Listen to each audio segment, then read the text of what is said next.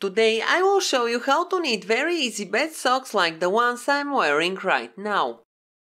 Make sure the racking handle is in its highest position. Now raise 50 needles on the front bed, 25 to the left and 25 to the right of the center. Place the edge springs on the last working needles. Now raise the opposite 50 needles on the back bed.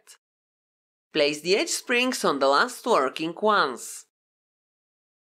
Use the orange ruler to arrange the needles on both beds in 1 to 1 division and put the edge springs on the last working needles.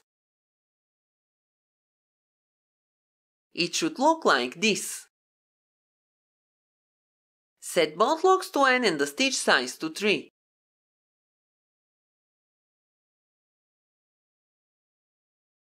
Insert the orange strippers. Take the main yarn and knit one row. Set both locks to CX and increase the stitch size to 4.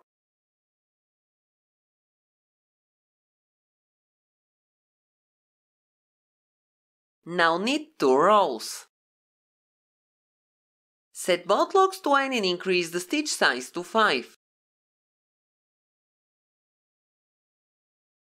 Knit one row to finish the cast on. Clear the row counter and knit 40 rows.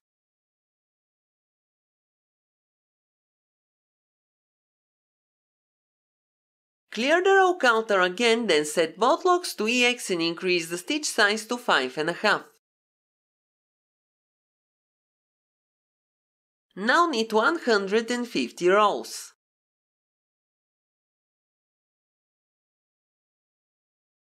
Clear the row counter, set both locks to N and the stitch size to 5.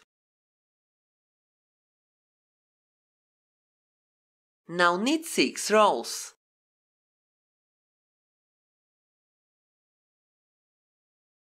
Can you imagine that the first sock is ready?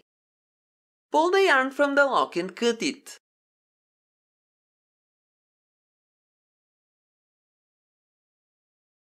Thread it in the double-eye bodkin tool and sew off all stitches. When I saw this pattern I thought that the socks will look awful but now I like them very much. They are very stretchy, soft and take the shape of your foot so nobody won't be able to notice that they don't have a heel. When you take the last stitch the knitting will fall off the machine.